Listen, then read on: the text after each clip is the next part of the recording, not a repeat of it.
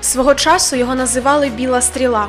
Українець Валерій Борзов наприкінці 1960-х і 70-ті роки був головною зіркою збірної Радянського Союзу. 20 жовтня 1949 року з'явилася на світ людина, ім'я якої стало легендою Валерій Пилипович Борзов. Найважливішим моментом моєї олімпійської кар'єри без сумніву стала участь в іграх 1972 року в Мюнхені. Ці ігри змінили моє життя. Після тієї олімпіади я став знаменитим, і це зіграло значну роль в моєму майбутньому. Розповідає Борзов в інтерв'ю.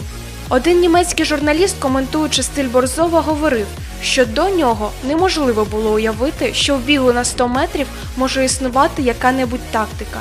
Адже на такій дистанції спортсмен не встигає перебудуватися. Валерій Борзов зруйнував цей стереотип і показав, що можна змінювати тактику на такій дистанції декілька разів. Крім цього, його виступи завжди були красивими і легкими. Всього за свою кар'єру Борзов виграв 6 олімпійських медалей. 4 золота і одне срібло на європейських чемпіонатах у відкритих та 8 медалей на закритих приміщеннях.